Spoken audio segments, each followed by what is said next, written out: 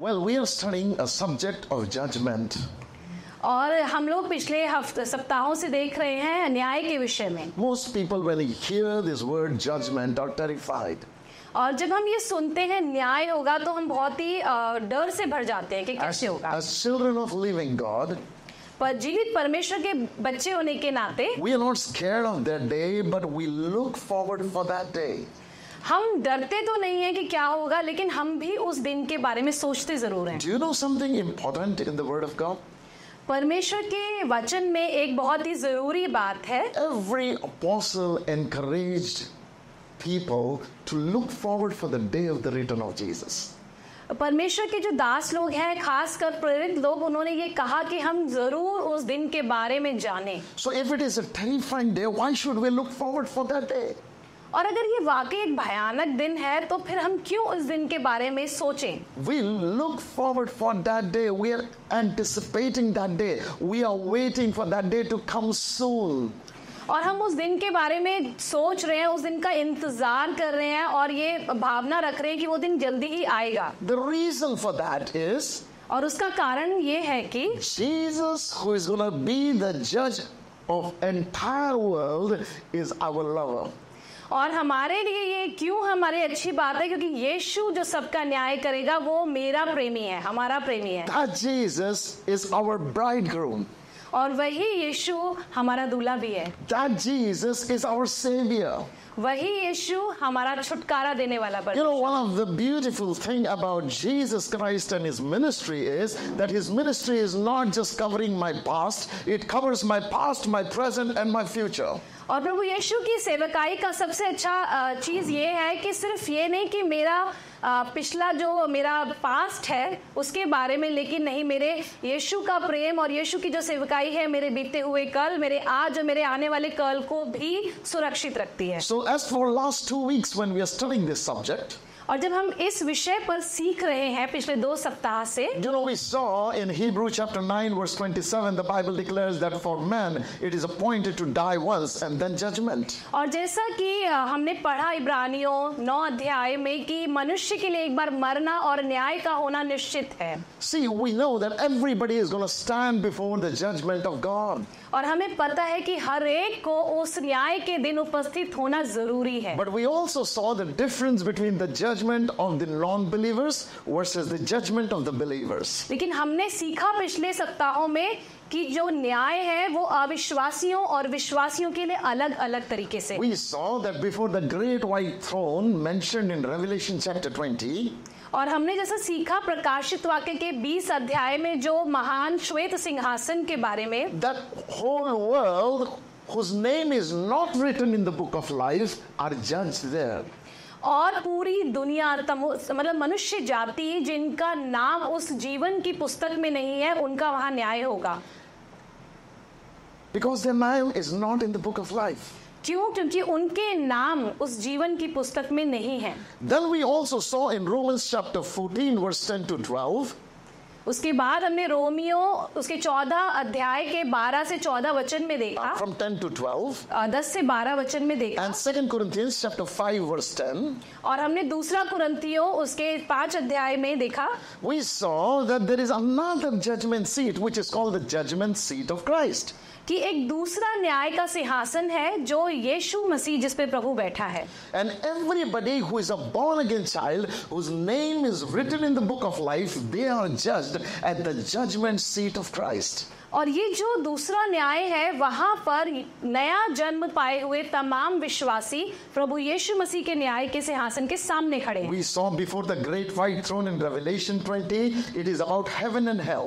और जो हमने प्रकाशित वाक्य के 20 अध्याय में जो श्वेत सिंहासन देखा वो है उन लोगों के विषय में जो जिन्होंने नया जन्म नहीं पाया। And it is about the destiny of heaven or hell. और वहाँ पर किसका न्याय है? स्वर्ग और नर्क के विषय में जैसे लिखा हुआ है। But the great, but the judgment seat of Christ is not about heaven and लेकिन प्रभु यीशु मसीह का न्याय का सिंहासन जो है वो हेवन और हेल के बीच में नहीं है। It is about losses and gain. यहाँ पर क्या आप पा लेंगे और क्या आप खो देंगे इस विषय में है? और ये यहाँ पर आपका क्या पुरस्कार होगा और क्या आपसे छूट जाएगा उस विषय में? How did you live your life as a believer is gonna be जज और आपने अपना विश्वासी जीवन कैसे जिया ये उस बारे में? You will not be going to hell आप नर्क में तो नहीं जा रहे for sure but in that judgement will be defined who you will be in eternity लेकिन यीशु मसीह के न्याय के सिंहासन के सामने ये वहाँ पर पता चलेगा कि आप अनंत में क्या पाने वाले what will your inheritance be और आप वहाँ पर क्या पा सकेंगे? What will be your authority be? आपका वहां पर अधिकार क्या होगा What are your privileges are going to be? आप वहां पे क्या अवसर पा पाएंगे That is what is going to happen at the judgment seat of Christ. और ये होने वाला है प्रभु यीशु के सिंहासन के आगे Today, I want to take you a little deeper in that topic. तो आइए आज थोड़ा और गहराई में चलते हैं Today, I want to show you something that the believers will have boldness at the throne of judgment, where unbelievers will be fearful before the great white throne. और आज हम सीखेंगे कि कैसे जो प्रभु के विश्वासी लोग हैं वो बड़े ही सामर्थ्य के साथ और अधिकार के साथ उपस्थित होंगे लेकिन जो अविश्वासी लोग हैं वो डरते हुए घबराहट के साथ वहाँ पे उपस्थित होंगे So, let's go into the Word of God today. आइए फिर क्योंकि ये रिकैप था आइए हम आगे बढ़े और वचन की गहराई में चलते हैं Open your Bibles with me to Proverbs chapter 11, verse number 4. और आज हम निकालते हैं नीति वचन 11 अध्याय का चार वचन Now, Proverbs is an amazing scripture passage. और जो नीति वचन है ये बहुत ही बहुत ही खूबसूरत इसमें एक आयत लिखी है The Bible declares here, Bible यहाँ कहती है I'm going to read from the Passion Translation. When judgment day comes, all the wealth of the world won't help you one bit. So be rich in righteousness, for that's the only thing that will save you in death. और कोप के दिन धन से तो कुछ लाभ नहीं होता परंतु धर्म मृत्यु से भी बचाता है Now, the word dharm there is actually a wrong translation. It should be dharmikta, mrityu se bachati hai. Okay, so I want you to understand that there is a gift of righteousness that comes by believing in Jesus Christ. तो मैं आपको बताना चाहता हूँ कि यीशु मसीह पर विश्वास करने के द्वारा हमको धार्मिकता मिलती है धर्म नहीं The Bible declares it this way He who knew no sin, God made him sin so that his righteousness be imputed in us. और बाइबल बताती है कि जिसने पाप को जानता ही नहीं था वो हमारे खातिर पाप गिना गया ताकि उसकी धार्मिकता हमको मिल जाए If somebody has a question thinking, Pastor, how is this possible that a person like me who is constantly living in sin can actually become righteousness of God? और ये बहुतों का प्रश्न हो सकता है कि एक मेरे जैसा व्यक्ति जो लगातार पाप में बना रहता है कैसे वो एक धार्मिकता को पा सकता है The simple answer is how is Jesus, the Holy One, born of Holy Spirit, becoming sin? तो उसका आंसर वहीं पे है कि यीशु मसीह जो पवित्रता के साथ पवित्र आत्मा से पैदा हुआ वो कैसे पाप बन गया If Jesus could become sin, a sinner can become righteous. यदि यीशु मसीह पाप बन सकता है हमारे लिए तो हम पापी धार्मिक बन सकते हैं धार्मिकता मिल सकती है यीशु के द्वारा Now listen carefully. Jesus never committed any sin, yet on the cross he hung as a sin.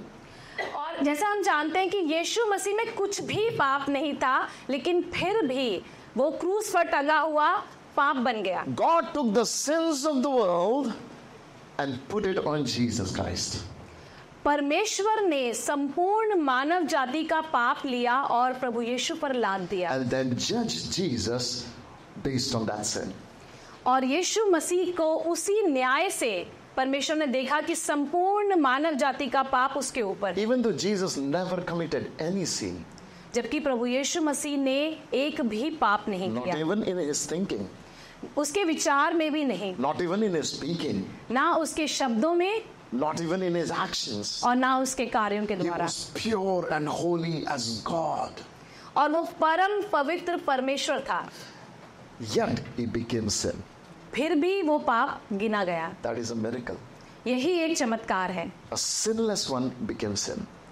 एक संपूर्ण रीति से पवित्र पाप गिना गया When a sinless one became sin, what really happened is God took the righteousness of Jesus Christ and imputed in us as sinners. और पाप रहित प्रभु यीशु जब पाप बन गया तो परमेश्वर ने क्या किया यीशु की धार्मिकता लेकर हमको पहना दी हमें दे दी So, in other words, my sinfulness was given to Jesus, His holiness was given to me. और अगर हम दूसरे शब्दों में कहें तो मेरा पाप यीशु को दे दिया गया और उसकी धार्मिकता मुझको दे दी गई। That is why Solomon is writing and saying, riches won't help you on the day of judgment. और इसीलिए सुलेमान राजा कह रहा है कि तुम्हारा जो बहुत सारा धन है ये तुम्हें मदद नहीं करेगा। No wealth no property Solomon was richest he said this won't help you on the day of the judgement of the Lord और इतना बड़ा बुद्धिमान राजा होकर वो कह रहा है इतना ज़्यादा रिच था वो। और फिर भी वो ये कह रहा है कि ये जो संपूर्ण आपके पास जो बहुत सारे रिचेस है ये आपको उस जजमेंट के दिन आपको मदद नहीं करने वाला। लेकिन एक बात जो हमें बचा सकती है. केवल यीशु की धार्मिकता। लेकिन जब हम उसको विश्वास के द्वारा ग्रहण करते हैं gift will save you on the day of judgment. और वही यीशु की धार्मिकता मुझे और आपको उस जजमेंट के दिन बचा लेगा Some people have question.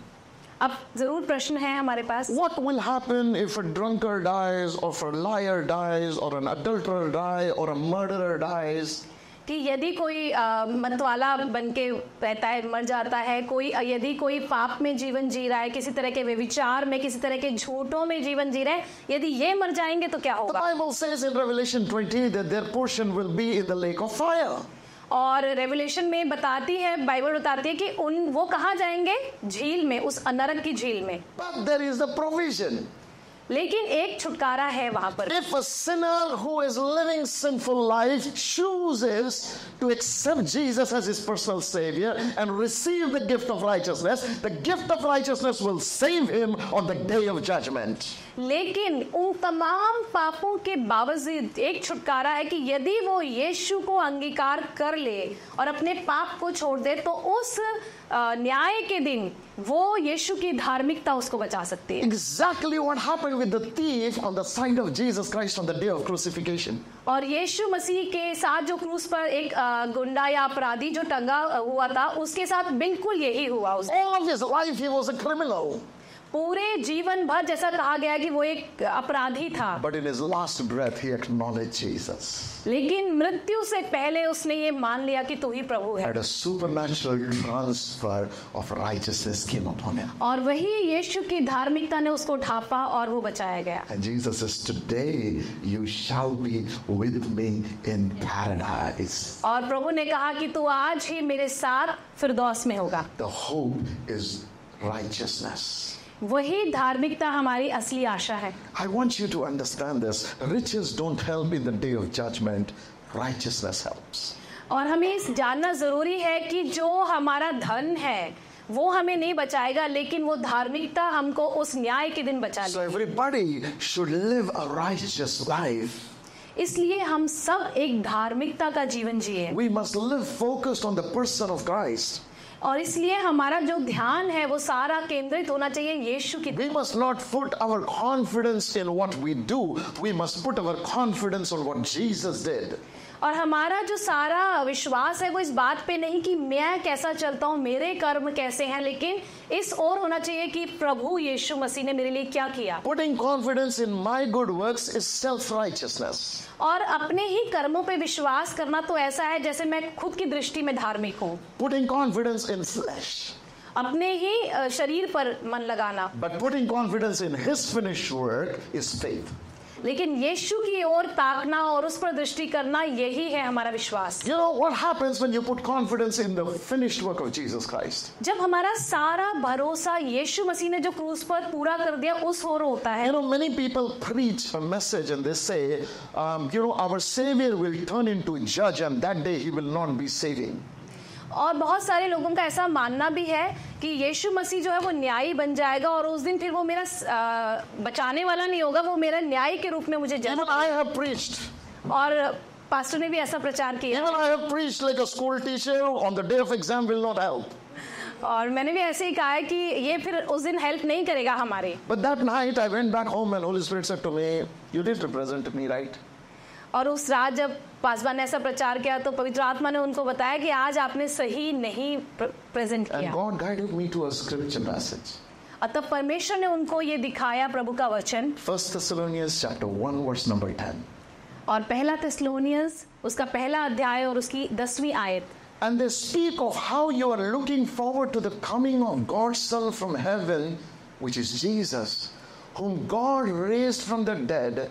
He is the one who has rescued us from the terrors of coming judgment.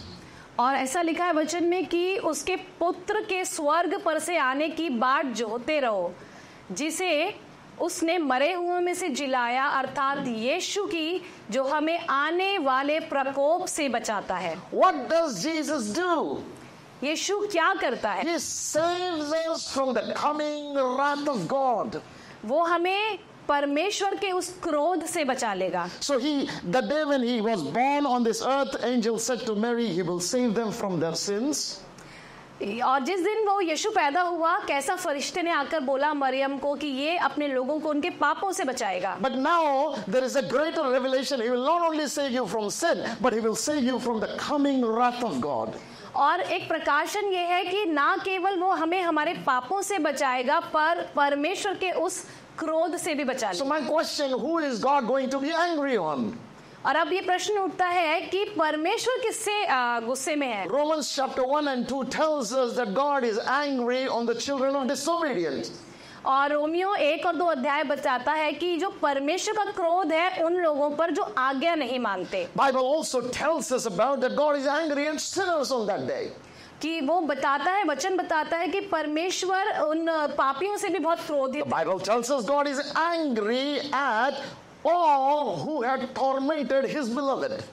और परमेश्वर का वचन ये भी बताता है कि खुदावन नाराज़ है उन लोगों से जिसने उसके पुत्र की आज्ञाओं को नहीं माना और उसे तुच्छ जाना। And not only that God is also angry at people those who persecute church और परमेश्वर उनसे भी क्रोधित है जो कलीसिया को प्रताड़ना करते हैं दुख पहुंचाते हैं। Now listen carefully When we see God is angry at sinner, we immediately identify, oh, God is angry at me. और जैसे ही हम ये सोचते हैं परमेश्वर पापी से क्रोधित है तो एकदम से ध्यान जाता है परमेश्वर पक्का मुझसे क्रोधित है। But the good news is you are under the covering of Jesus लेकिन ये सुसमाचार यही है कि मैं प्रभु यीशु मसीह के द्वारा ढाकी गई हूँ। And that is why he saves me from the anger of God और इसीलिए प्रभु यीशु मसीह परमेश्वर के क्रोध से हमको बचाता है। One of the greatest ministry of Jesus is he saves us from the anger of God और यीशु की सेवकाई का एक बड़ा रहस्य ये भी है कि परमेश्वर के क्रोध से प्रभु यीशु हमको बचाता है। Church you must know your saviour your husband saves anger of God तो कलीसिया ये जान ले दुल्हन ये जान ले कि हमारा जो दूल्हा प्रभु यीशु मसीह है वो खुदावन के क्रोध से भी हमको बचाए that is where nowhere in the New Testament Bible says let the anger of God be upon you और इसीलिए नए नियम में कहीं भी नहीं आया कि परमेश्वर का क्रोध तुम पर हो Let the anger of Father be on you. कि पिता का क्रोध तुम पर The हो Bible says, let the love of Father be upon you. और इसीलिए ये लिखा गया है हर जगह आया कि परमेश्वर का प्रेम तुम पर हो Why? The anger is turned into love. क्यों वो क्रोध प्रेम में बदल गया The answer is because Jesus took that anger on himself. So now Father has to love me. और इसका उत्तर इसी में छुपा है कि प्रभु यीशु मसीह ने वो क्रोध सह लिया ताकि वो प्रेम हम पर आ जाए। Do you realise that that the penalty of my sin was given to Jesus क्या हमको इस बात का जरा भी आभास है कि हमारे पापों की जो पेनल्टी या जो उसकी सजा थी वो यीशु पर डाल दी? Somebody says to you upper church why should you be bold of the day of the coming of the Lord तो चर्च अगर आपसे कोई ये बोले कि तुम क्यों इतने उत्साहित हो या तुम क्यों इतने अ, अ, मतलब बोल्ड हो प्रभु की उपस्थिति के लिए The answer is because that day he is not going to be angry on me. और उसका उत्तर यही है कि मैं इस बात से बहुत अच्छे से विश्वास में भरा हुआ हूँ कि मुझ पर वो क्रोध नहीं आने वाला David said, It is a dangerous thing to be under the hand of an angry God. और राजा दाऊद ने भी लिखा कहा अपने वचन में कि ये बड़ा ही भयानक है कि परमेश्वर के क्रोध के आगे आना। The Bible says it is a dangerous thing to be under the hand of a angry God कि परमेश्वर के उस क्रोध के हाथ के नीचे आना बहुत ही भयानक है। But between the anger of God and me there comes a saviour called Jesus लेकिन परमेश्वर के क्रोध और हमारे बीच में वो यीशु मसीह का और उस बचाने वाले प्रभु यीशु का प्रेम आ जाता And the moment the love of Christ covers my life, और जैसे ही प्रभु यीशु का प्रेम हमको ढांप लेता है saves me from the terrors of coming judgment. और वो उस न्याय के दिन के गुस्से से हम बच जाते हैं Hallelujah. Hallelujah Do you understand the ministry of Jesus? क्या हम प्रभु यीशु मसीह की सेवकाई को समझ रहे हैं Even though he's going to be the judge of the living and the dead, but for us, he will not be in anger. हाँ यीशु मसीह और परमेश्वर जब न्याय करेंगे तो वो जीवित और मृतकों का न्याय करेंगे लेकिन हमारे लिए वहाँ पर क्रोध नहीं है। यू मस्ट नो दैट और हमें ये जानना चाहिए। Okay now next thing I want you to understand something very important और आइए हम अगली बात को सीखे। We are learning for the church anger is taken away what about Gentiles and Jews how is God gonna जज them और हमने ये जान लिया कि कलीसिया के प्रति परमेश्वर क्रोध हटा लिया गया लेकिन अब जो यहूदी और अन्य जाति हैं इनका क्या न्याय कैसे Let me show you some scriptures. आइए हम वचन से सीखते हैं Let's go to Romans chapter 2, verse number 12 first. और आइए हम रोमियो दो अध्याय उसके बारहवें वचन में जाते हैं Romans chapter 2, verse number 12 to 16. Romans 2, verse number 12. When the Gentiles sin, they will be destroyed, even though they never had God's written law.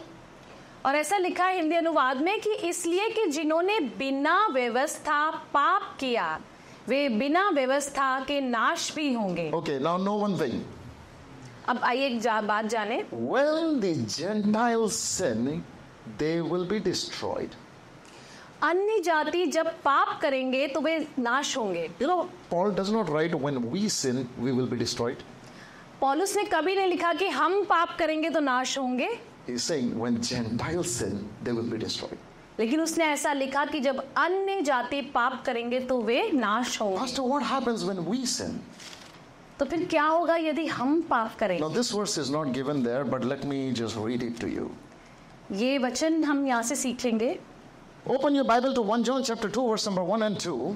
पहला यहुन्ना दो अध्याय उसका वचन एक और दो He says, My little children, I write these things to you that you sin not. And if any man sin, we have an advocate with the Father, Jesus Christ the righteous. और इस तरह लिखा है कि हे बाल को मैं तुम्हें इसलिए लिखता हूँ कि तुम पाप ना करो और यदि पाप करो भी तो हमारा एक सहायक या एडवोकेट है पिता के पास और वो है यीशु मसीह धार्मिकता के साथ यीशु मसीह Listen. Paul is writing to the church and saying, Hey, listen, when Gentiles sin, they are destroyed. और पौलुस कलीसिया को लिखते हुए बता रहे हैं कि जब एक अन्य जाति पाप करेगा तो वो नाश होगा But to the church, John is writing and saying, Little children, if you sin, we have an advocate.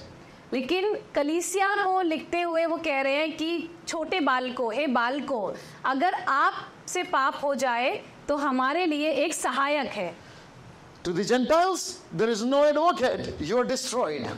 लेकिन अन्य जाति उनके पास कोई ऐसी सहायता नहीं है और वो नाश हो जाते हैं To the born again child of God, if he commits sin, there is an advocate. लेकिन परमेश्वर के नए जन्म पाए हुए लोग यदि उनसे पाप होगा तो हमारे पास प्रभु यीशु Does that mean, Pastor, we should commit sin? तो इसका मतलब है फिर हम तो पाप कर सकते हैं John is saying, I write to you that you should not sin.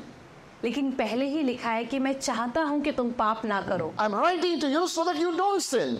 और लिखा ही इसलिए गया कि हम पाप ना करें But in case if you sin, पर यदि हमसे पाप हो जाए तो? Know one thing you will not be destroyed लेकिन ये हमें जान लेना है कि हम नाश नहीं होंगे। If you commit sin you will not be destroyed there is a saviour क्यों? क्योंकि जब हम पाप करते हैं तो हम इसलिए नाश नहीं होंगे क्योंकि एक बचाने वाला उद्धार करता यीशु मसीह है। वी हैव जीसस हमारे पास प्रभु यीशु मसीह are you giving me licence to sin तो क्या हमारे पास यीशु नाम का लाइसेंस है जिससे हम पाप करें? No my brother the Bible says little children I write to you that you should not sin लेकिन बाइबल पहले यही लिखती है वचन बताता है कि मेरे बच्चों मैं चाहता हूँ कि तुम पाप ना करो। It's very important John uses word little children और ये इस वचन में लिखा हुआ कि हे छोटे बालकों you know when as a Christian you continue to sin that means you are still a baby और ये सच है कि प्रभु यीशु मसीह को जानने के बाद भी मसीह होकर भी यदि हम लगातार पाप कर रहे हैं तो हम छोटे बच्चे ही हैं You have not matured. हम अभी परिपक्व नहीं हुए It's like a baby learning to walk. He falls down and again, again.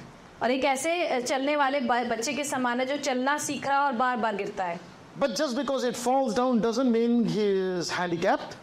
लेकिन क्योंकि वो बच्चा बार बार गिर रहा है इसका मतलब ये तो नहीं कि वो हैंडीकैप है parents encourage him parents hold the hand teach him to walk and a time comes when the child runs without falling.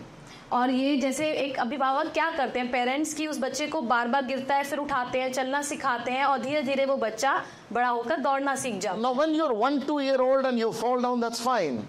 और आप एक दो साल के हैं और घुटनों पे गिर रहे हैं बार बार तो कोई बात नहीं। But if you eighteen year old and you fall down walking now there is a problem और आप अगर 18 साल के सयाने हो गए हो फिर भी आप चलते चलते गिर रहे हैं तब एक समस्या स्पिरिचुअल लाइफ सेम थिंग और हमारा आत्मिक जीवन में बिल्कुल ऐसा ही होता Little है children, we have an advocate.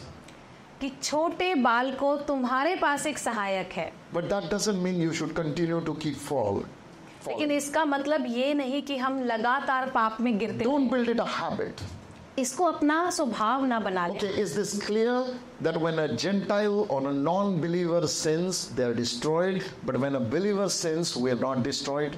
अभी ये क्लियर हो गया यहाँ पे वचन के द्वारा कि एक अन्य जाति या परमेश्वर को ना जानने वाला यदि पाप करता है तो वो नाश होगा परंतु प्रभु को वि- जानने वाला विश्वासी नाश नहीं होगा If anybody comes and tells you, you'll be destroyed, अगर कोई आके आपसे कहे कि आप पाप कर रहे हो आप नाश होगे they don't know the word तो उनको वचन की समझ नहीं। And they don't know what Jesus has done और उनको ये भी नहीं समझ कि प्रभु ने क्या किया है and they don't know that God deals with children differently than with Gentiles और वो ये नहीं जानते कि एक परमेश्वर पिता अपने बालकों से कैसा व्यवहार करता है और अन्य जातियों के साथ कैसा। Listen carefully in your home If there is a mistake that your servant do, you may remove that servant from the work in the house.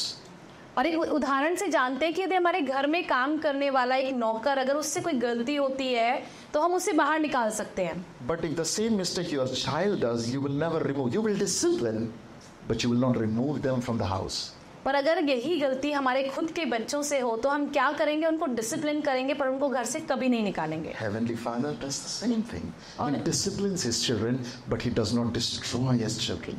और स्वर्गीय पिता भी यही स्वभाव है कि वो हमको डिसिप्लिन करेगा हमको ताड़ना भी देगा लेकिन हमको कभी भी नाश नहीं होने देगा। आइए रोमियो दो और उसके बारह वचन पर आते हैं।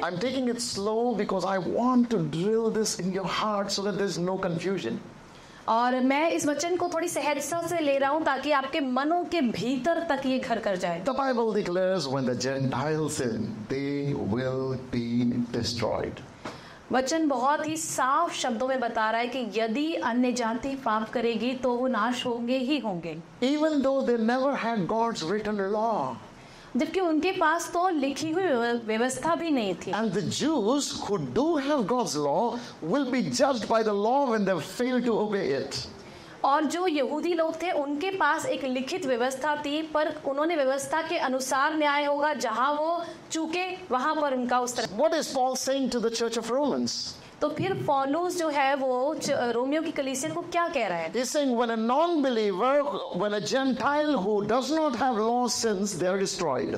और वो बता रहा है कि अन्य जाति जिनके पास कोई व्यवस्था है ही नहीं उन्होंने पाप किया और वो नाश हो जाएँगे।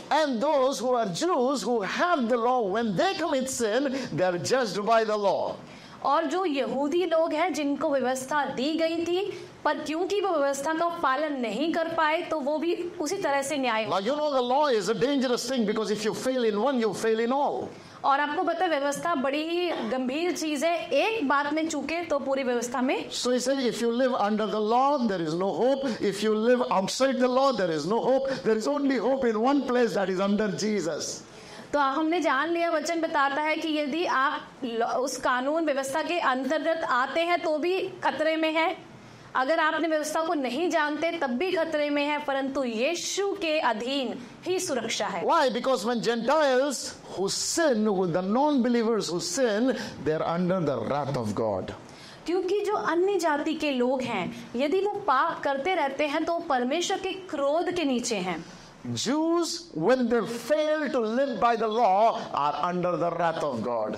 और यहूदी लोग जिन्होंने जान लिया कि व्यवस्था क्या है, अब वो भी उसका पालन नहीं कर पा रहे, वो भी परमेश्वर के क्रोध के नीचे हैं। But the born again child of God when we commit sin we are not under the wrath of God we are under the grace of God who actually saves from the wrath of God लेकिन हम जो नया जन्म पाए विश्वासी लोग हैं जब हमसे पाप होता है तो हम पर क्रोध नहीं है। हम यीशु मसीह के अनुग्रह के नीचे हैं। That's why Bible says he is our advocate और इसीलिए लिखा है कि वो हमारा एडवोकेट वकील है वो हमारा। That's why Bible says when we commit sin and ask forgiveness his blood is faithful to forgive all of our sins.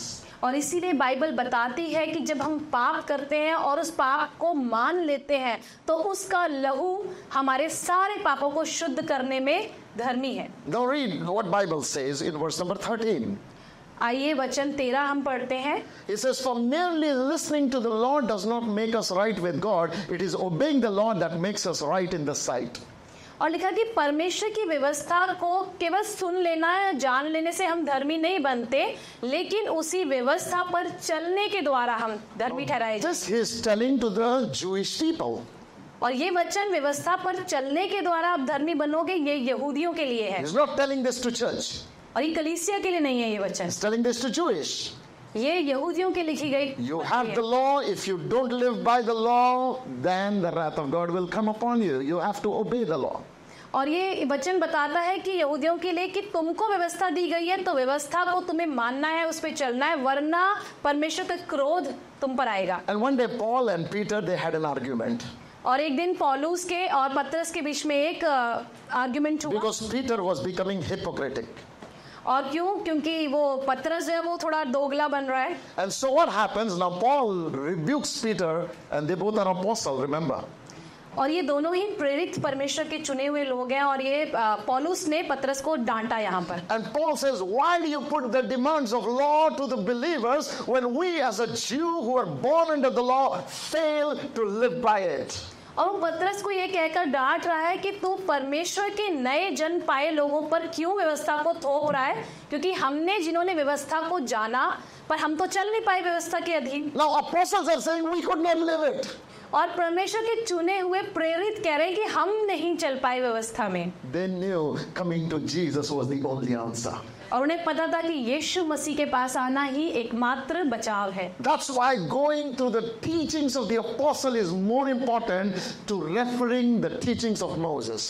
और इसीलिए हमको परमेश्वर के जो प्रेरित है उनकी शिक्षा को समझना ज़्यादा ज़रूरी है कि हम मूसा की व्यवस्था को समझें That's why in Acts chapter 2, the Bible says that they all were constantly giving themselves to the teachings of apostles. और इसीलिए प्रेरितों की पुस्तक जो है उसमें लिखा हुआ है कि वो न- लगातार कलीसिया और विश्वासी लोग प्रेरितों की शिक्षा पाने में लगे रहते थे Verse number 14 चौदवा आयत पढ़ते हैं Even Gentiles who do not have God's written law show that they know the law when they instinctively obey it even without having heard it. और इसमें लिखा हुआ है कि अन्य जाति जो लोग हैं, जिनके पास व्यवस्था नहीं, फिर भी स्वभाव से, अपने स्वभाव के कारण व्यवस्था की बातों पर चलते हैं तो व्यवस्था उनके पास ना होने पर भी वे अपने आप ही व्यवस्था है Now listen. Let me translate that verse for, in Hindi properly for you. वो क्या कह रहा है कि अन्य जाति लोग जिनके पास परमेश्वर की लिखी हुई व्यवस्था नहीं है जब वो लोग व्यवस्था के अधीन बताते हैं ये तब भी उनके पास व्यवस्था लिखी नहीं है परंतु उनके विवेक में वो व्यवस्था दी गई है जब वो उस विवेक के अनुसार जो व्यवस्था के साथ मेल खाती है जीते हैं तो वो व्यवस्था का पालन करते हैं Do you understand what, they, what he's saying? He's saying that in their conscience there is there is a voice. और वचन इस वचन का जो अर्थ है वो ये है कि उनके पास व्यवस्था दी नहीं गई लेकिन अपने स्वभाव में और अपने विवेक में। विवेक में उनके विवेक में वो व्यवस्था को पालन करते हैं so what happens in their instinctively they know what is good and what is bad तो उनको पता चल रहा है विवेक के द्वारा कि क्या सही है और क्या गलत है। Every human beings deep down in their heart knows that we call ना इस आदमी का जमीर मर गया। What do we mean when we say इसका जमीर मर गया? We are basically saying is lost the consciousness of Evil and good. और हम सभी लोग सबके पास एक शुद्ध विवेक होता है जो हमको बताता है सही क्या है गलत क्या है। और हम कई बार कोई कहते हैं ना ओ इस ये व्यक्ति तो बिल्कुल इसका जमीर नहीं है। Verse number 15 says, They demonstrate that God's law is written in their hearts for their own conscience and thoughts either accuse them or tell them they are doing right. और ये उनका विवेक ही है व्यवस्था नहीं है लेकिन उनके विवेक में ही वो अपने कामों में जान लेते हैं कि क्या ये सही है या उनकी आपस में वो चिंता कर रहे हैं तो उन्हें ये बता रहा है उनका विवेक ये सही है तुम निर्दोष हो तुम पापी हो ये विवेक बता रहा So, है see, what is he saying? He's saying, Those who are Jewish are judged by the law. तो बचन बताता है कि जो यहूदी है उनका न्याय उस व्यवस्था के द्वारा हो सो गॉड विल जज their life based on the law परमेश्वर उनका न्याय उस उनकी जो जीवन व्यवस्था पर आधारित है उसी तरीके से और जो अन्य जाति लोग हैं क्योंकि उनके पास व्यवस्था नहीं है परंतु उनके पास एक विवेक है तो उनका न्याय उनके विवेक के द्वारा होगा He who know how to do good and does not do it, it is sin for him. और ये न्याय ऐसे है कि एक व्यक्ति को पता है कि ये सही नहीं है और फिर भी वो ऐसा करता है तो उस विवेक के द्वारा उसका न्याय होगा And God says, in your conscience, you knew this was wrong, but you still did it. और परमेश्वर उन पर यही कह के दोष लगाएगा कि तुझे पता था तेरे विवेक ने तुझे बताया ये गलत है फिर तूने किया तो इसलिए तू दोषी You knew what was right and you didn't do it. That's why you are guilty. तुझे पता था कि ये सही नहीं है और फिर भी जानबूझकर ऐसा किया तो यही पाप That's why nobody is going to be innocent before God under law and conscience. और इसीलिए चाहे व्यवस्था हो चाहे विवेक हो कोई भी पाप रहित नहीं है But the provision of Christ is different. लेकिन जो हमारे लिए जो छुटकारा है वो है यीशु In Jesus Christ, you are dealt completely different. लेकिन यीशु मसीह में हमारे साथ जो है अलग बिल्कुल अलग एक स्पेशल व्यवहार जिसे हम कह सकते हैं वो है Let's look at verse number 16. आइए हम 16 पद देखें And this is the message I proclaim that the day is coming when God, through Jesus Christ, will judge everyone's secret life. और यहाँ पे लिखा है कि जिस दिन परमेश्वर मेरे सुसमाचार के अनुसार यीशु मसीह के द्वारा मनुष्यों की गुप्त बातों का न्याय करेगा Next verse. You don't have that. Okay. Um, somehow in this translation, the last line is missing. In NKJV, it says, and their response to my gospel will be the standard of judgment used in that day.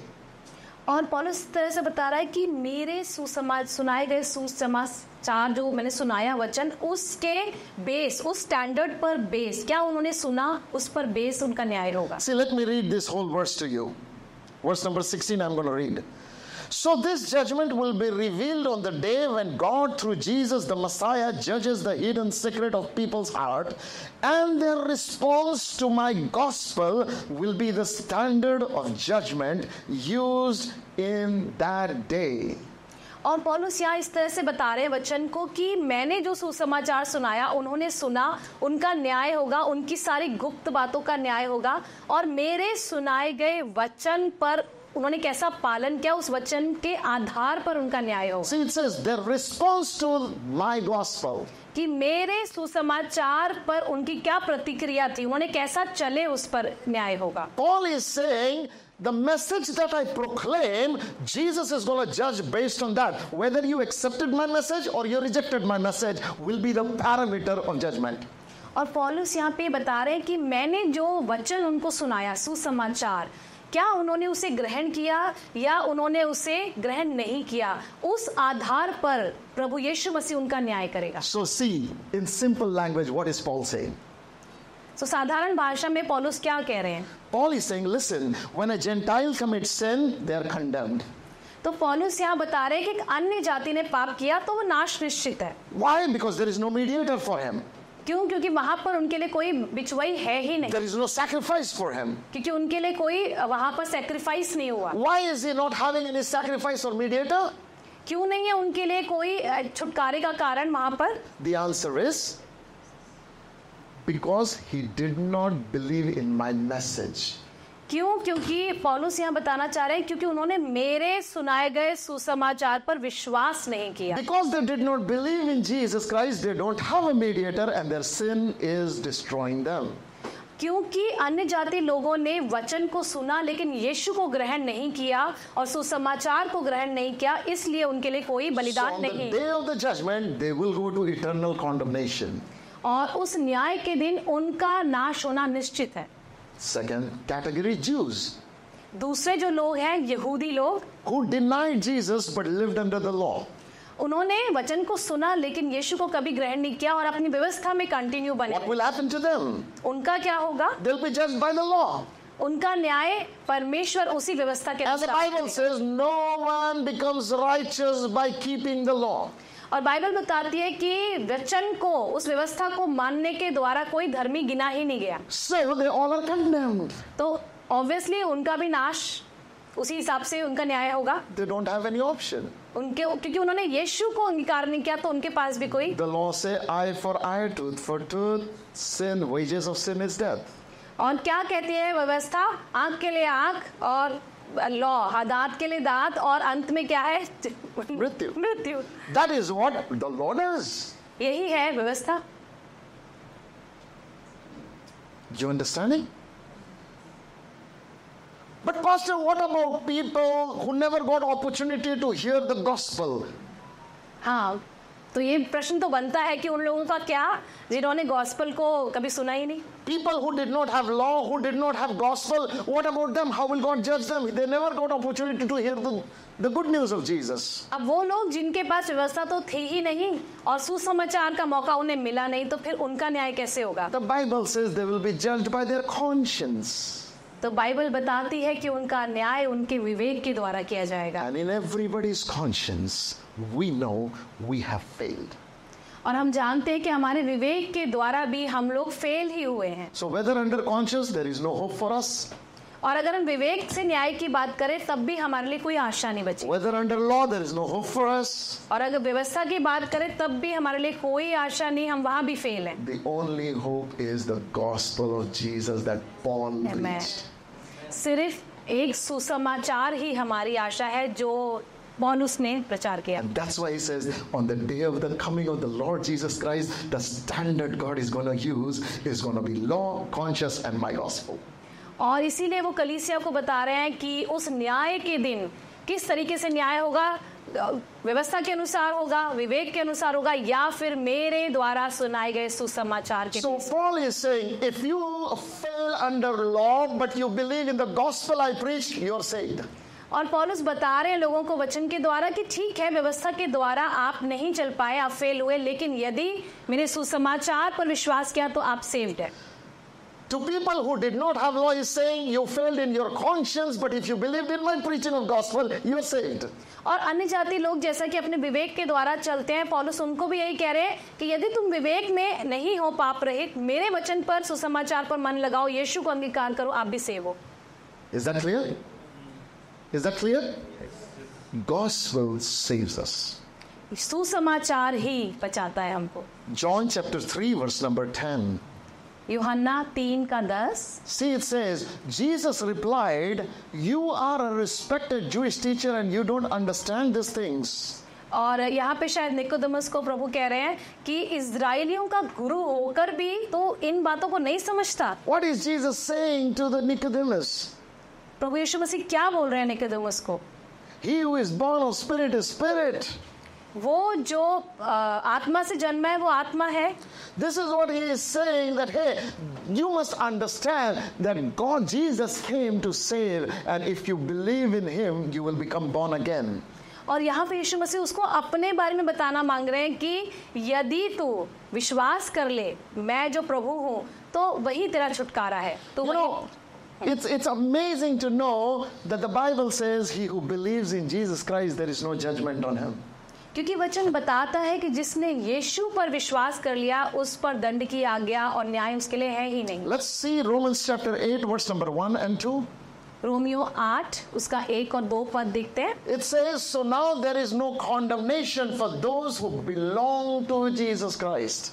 और इस तरह लिखा है कि सो जो अब यीशु मसीह पर है उन पर किसी भी तरह के दंड की आज्ञा है ही नहीं। What is saying?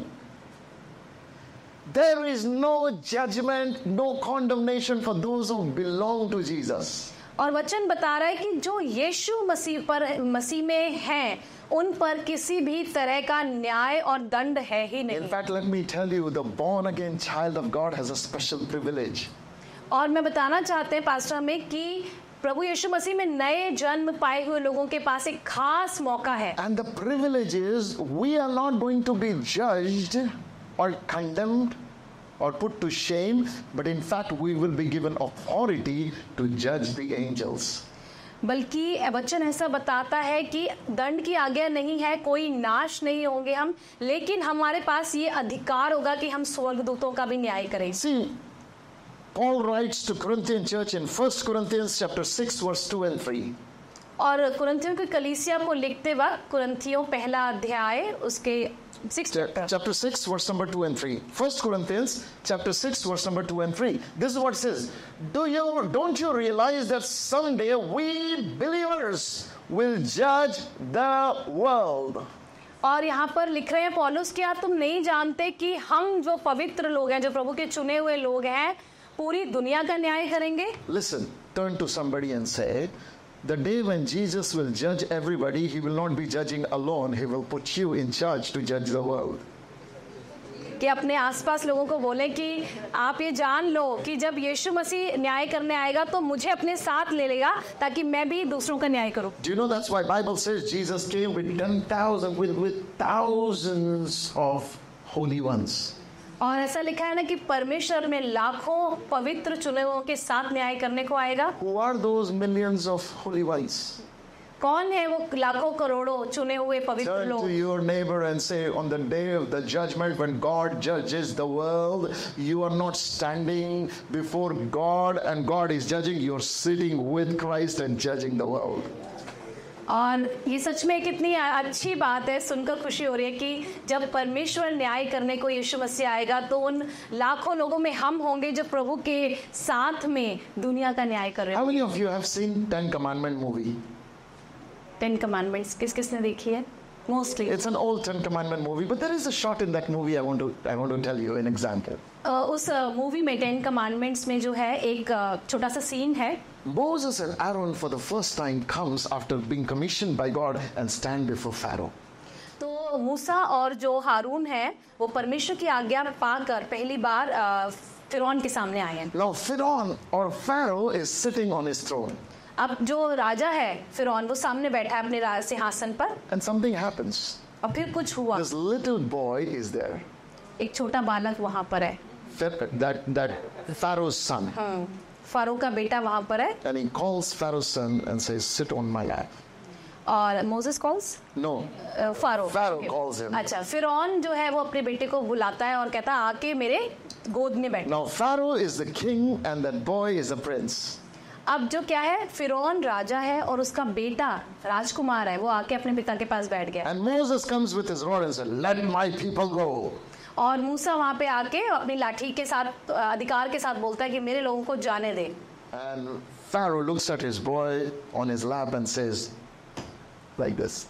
और फिर ने कैसे इशारा किया अपने पुत्र की तरफ़ देखा और देख के उसे इशारा किया कि और अब क्या कर रहा है? फिर का बेटा अपने पिता का वो जेस्टर पाके उसने गया और मूसा की लाठी को उसने क्लिपिंग टू यू ऐसा बाइबल में ऐसी कहानी नहीं है लेकिन उस uh, फ़िल्म का वो सीन है। But what I want you to know is this because the king was his father he was included in the judgment क्योंकि वो बता पास्टर उसको ऐसे रिलेट कर रहे हैं कि जो राजा है फिरौन है अब क्या है वो राजा है इसलिए उसका बेटा आकर उसके साथ बैठा है और एक जजमेंट की तरह वहाँ पे न्याय के सिंहासन पर बैठा हुआ है Paul is telling to the church of Corinthians in this world you have persecutions and tribulations and problems, but a day is coming when you and I are going to judge the world. और मैन और कुरंथियों की कलीसिया को पौलुस बड़े ही हियाब के साथ लिख रहे हैं कि हाँ हमें दुनिया में सताव होता है चिंताएँ होती हैं हम सताए जाते हैं लेकिन वो दिन दूर नहीं जब हम पवित्र बनकर जगत का न्याय करेंगे Listen, a righteous will never be given to the judgment of the unrighteous. और ये हमने जान लेना है कि हम जो परमेश्वर के धार्मिकता पाए लोग हैं हम ऐसे अन्य जातियों के सामने न्याय के लिए नहीं दिए जाएँगे At the end, the righteous will judge the world. क्योंकि अंत में यही होगा कि जो हम धर्मी गिने गए हैं हम ही जगत का न्याय करेंगे Look at the question Paul is saying. Don't you realize? और किस तरह पॉलुस एक क्वेश्चन मार्क से लिख रहे हैं क्या तुम नहीं समझते Why? Because they were doing court cases against each other in the church and Gentiles were judging them. क्योंकि कोरिंथों की कलेसिया में हो रहा था, वो एक दूसरे पर दोष लगा रहे थे, कचहरियों में ऐसा कर रहे थे और अन्य जाति तमाशा देख रही है। अरे सुन listen why you going to a to जज your case don't you realise you gonna जज द वर्ल्ड और इसीलिए पौलुस उनको लिख रहे हैं कि क्या तुमको इतनी भी समझ नहीं कि तुम परमेश्वर के चुने हुए होकर के अन्य जातियों के सामने तमाशा बने हुए क्या नहीं जानते कि हम अन्य जातियों का न्याय करेंगे Not only that, that we are going to judge the world. The Bible says, since you're going to judge the world, can't you decide even these little things among yourselves? और इसलिए वो उन्हें सिखा रहा है कि जब तुमको ही अन्य जातियों का एक दिन न्याय करना है तो क्या ये छोटे मोटे झगड़े आपस में नहीं निपटा सकते He's saying, deal with each other don't go into court cases कि आपस में अपने झगड़ों का निपटारा करें। क्यों जाएँ न्याय पाने के लिए? It is an insult to you and your saviour when you stand as a in the room और ये हमारे उस उद्धारकर्ता के लिए कितनी ही मतलब हम उसके लिए कितनी लज्जा का कारण बनते कि हम अपने झगड़े लेकर कोर्ट कचेरियों में जाते हैं। गॉड इज़ सेइंग जज ऑफ़ द वर्ल्ड और परमेश्वर कह रहा है कि तुमको तो बुलाया गया ताकि संपूर्ण मानव जाति का आप न्याय करो। यू आर हायर कॉलिंग आपकी तो बुलाहट बहुत बड़ी है। Don't be so selfish about pride and fighting और इतने ज़्यादा घमंडी मत हो जाओ कि अपने आप ही हम आपस में झगड़ों में उलझे हुए हैं। Each other. It's better to be. और यहाँ को छोड़ दो इन झगड़ों को। ठीक है हार जाओ बेशक यहाँ पे क्योंकि हमको वहाँ पे उस उत्तम सिंहासन पर बैठ कर न्याय The करना। Lord is saying, I'm inviting you not only to co labor with me on the earth, but co labor with me in the judgment. और परमेश्वर हमें बुलाहट देता है कि सिर्फ़ यहाँ आकर मेरे काम में मदद नहीं करनी कि यहाँ हम परमेश्वर के सहयोगी हैं। लेकिन उस स्वर्ग में भी हम परमेश्वर के सहयोगी हैं। And we're going to judge the rest of the world. कि हम जगत का न्याय करेंगे Look to your neighbor and say, You're not a poor victim. That's why devil does not want you to believe in Jesus because he knows you're going to judge the world. और अपने पड़ोसी को आप देख कर एक उत्तम आशा से कह सकते हैं कि हम कोई बेचारे नहीं हैं लेकिन हम उस पर सामर्थ्य परमेश्वर के साथ बैठकर जगत का न्याय करने वाले हैं Look at verse number three. आइए हम तीसरा पद देखते हैं Even more higher, he says, Don't you realize we will judge angels?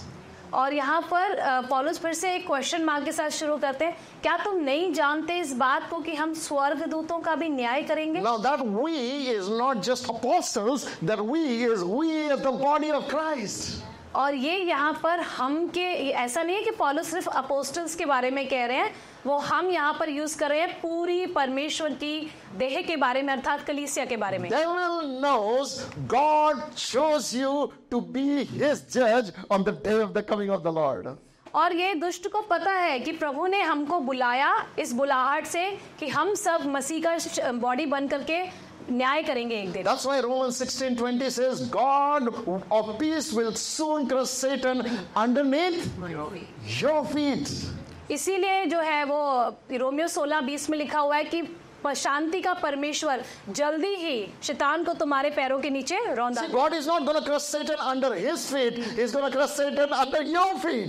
परमेश्वर उसे अपने पैरों से नहीं कुचलेगा लेकिन लिखा है कि वो जल्दी ही शैतान को आपके पैरों के नीचे कुचलवा देगा। That is why devil wants you to go astray of Jesus because he knows if you abide in him man you are gonna जज हिम Amen.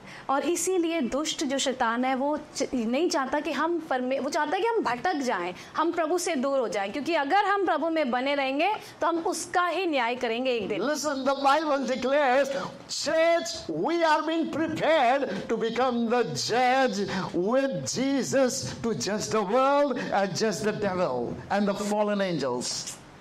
और इसीलिए कलीसिया चुनी गई कलीसिया को बुलाया खुदा ने कि उसके साथ मिलकर एक दिन स्वर्गदूतों का भी और शैतान का भी और पूरे संसार का सबका न्याय प्रभु हमारे साथ करेगा Listen, that tells me one thing. The most ultimate authority is going to be with Jesus and his bride. और ये एक बात यहाँ पे बहुत ही क्लियर है कि सबसे ज़्यादा ऊँचा कौन है प्रभु यीशु मसीह और उसकी कलीसिया सबसे उत्तम जज।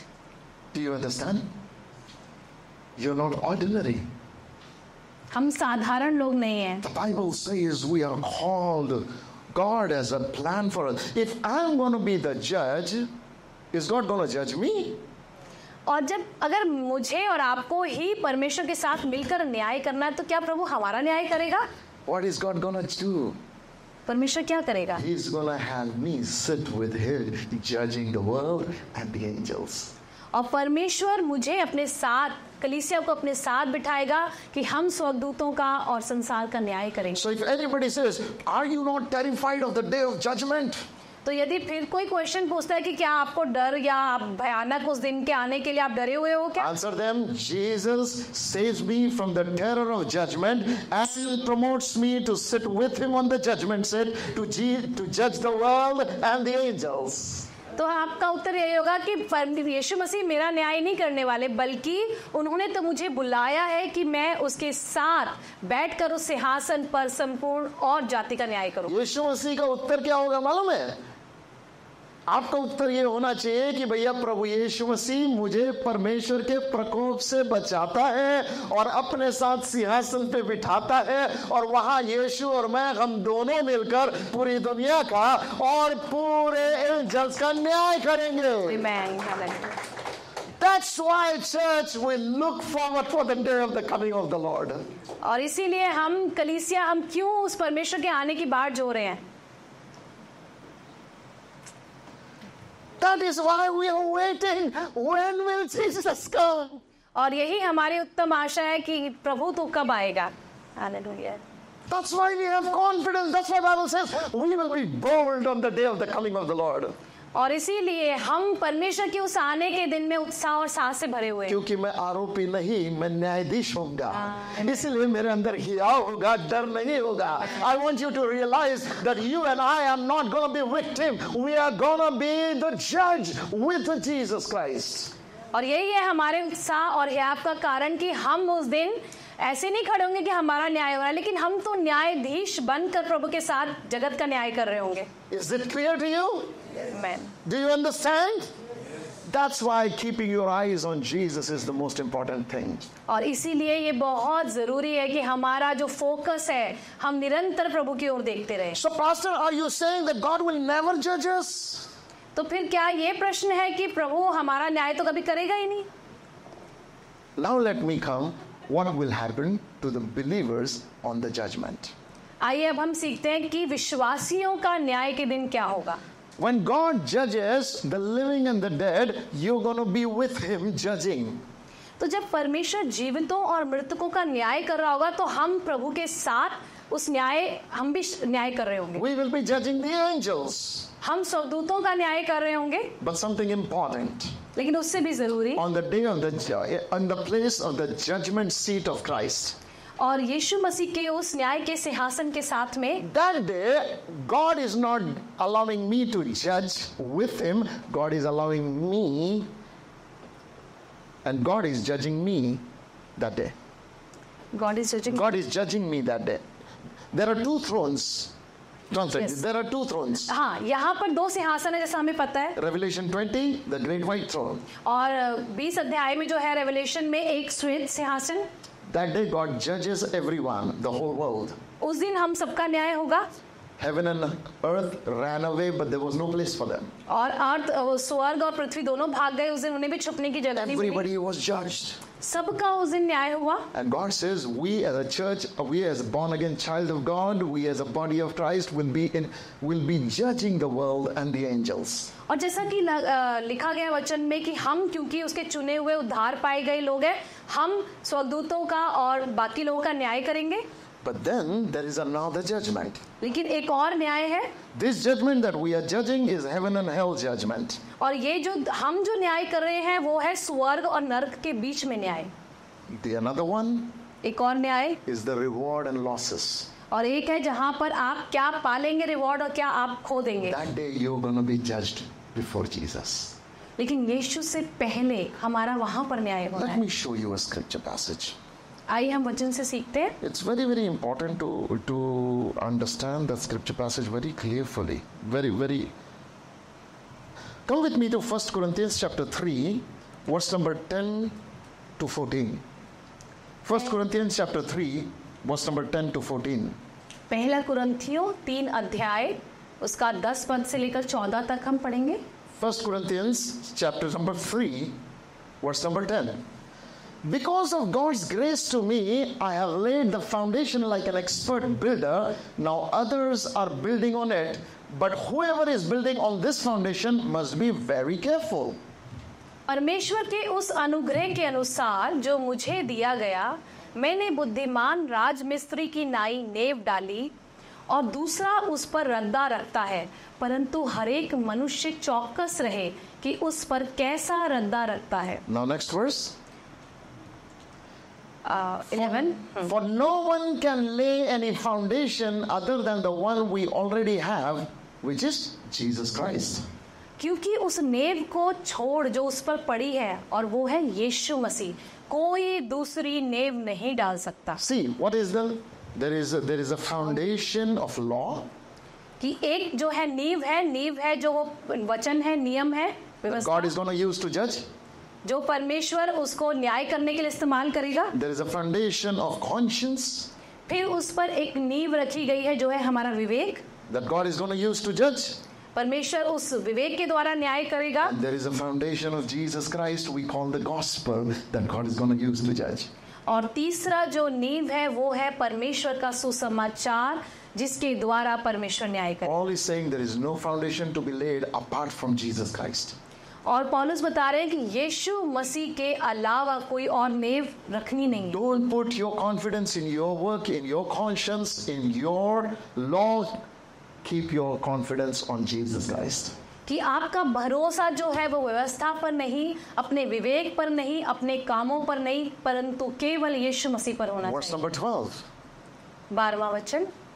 Anyone who builds on that foundation may use a variety of materials gold silver jewels wood hay और स्ट्रॉ कि यदि कोई उस पर कोई और नेव रखता है सोना या चांदी या कोई पत्थर काठ या घास या फूस कुछ भी रद्दा रखता है। These all things the material talks about the quality that is used और ये मटेरियल का मतलब है कि किस तरह का वो जो क्वालिटी उसकी क्या है।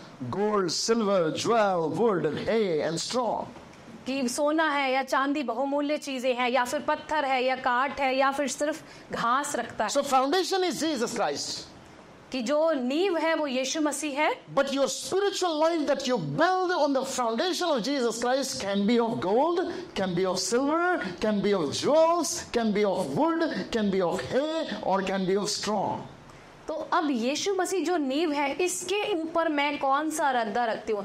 क्या मेरा रद्दा एक सोने के समान है चांदी के समान है? किस तरह का मैं आगे उस पर चीज़ें रख रही हूँ? Now, listen carefully. Gold is not the strongest material, सोना जो है वो सबसे ज़्यादा स्ट्रांग मटेरियल तो नहीं है। Silver is not the strongest, और चांदी भी जो है उतनी मज़बूत नहीं है। इज़ द स्ट्रॉन्गेस्ट और बहुमूल्य पत्थर भी स्ट्रॉन्ग नहीं है। Is not saying build the strongest by putting iron into it और यहाँ पे ऐसा भी नहीं लिखा कि सबसे मज़बूत लोहा एक लाकर यहाँ पे रख दो नींव पर। बिल्ड गोल्ड वो कह रहा है कि सोना बिल्ड विद सिल्वर कि चांदी से रखिए। और ज्वेल्स या फिर बहुमूल पत्थर